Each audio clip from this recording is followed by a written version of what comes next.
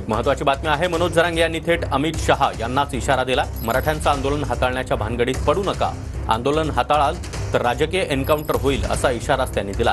तर कोणी अमित शहांवर बोलत असेल तर ते सूर्यासमोर दिवा लावण्यासारखं असल्याचं उत्तर चंद्रशेखर बावनकुळे यांनी मनोज जरांगे यांना दिलं पटेलांचा वापर करून तुम्ही गुजरातमध्ये कोणत्या बेटावरती काय उभा केलं? दीवदमनच्या बेटावरती तुम्ही काय उभा केलं? नगर हवेलीच्या बेटावरती तुम्ही काय उभा केलं? शिलवाशाच्या बेटावर तुम्ही काय उभा केलं? आणि स्वतःचे लोक तुम्ही खड्ड्यात घालून तुम्ही वर येण्यासाठी तुम्ही कोणत्या कोणत्या थराला गेलेला आहेत ना?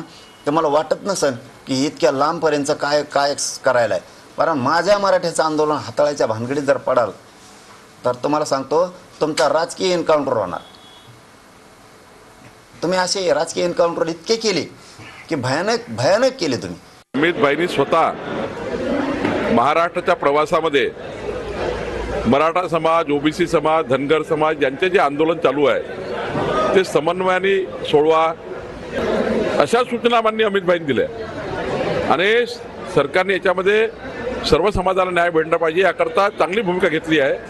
आणि ते सरकार घेत आहे. अमित भाईच्या बोलण्यामध्ये सर्व समाजाला न्याय देण्याची भूमिका ठेवा असं असताना कुणी अमित भाईबद्दल बोलणे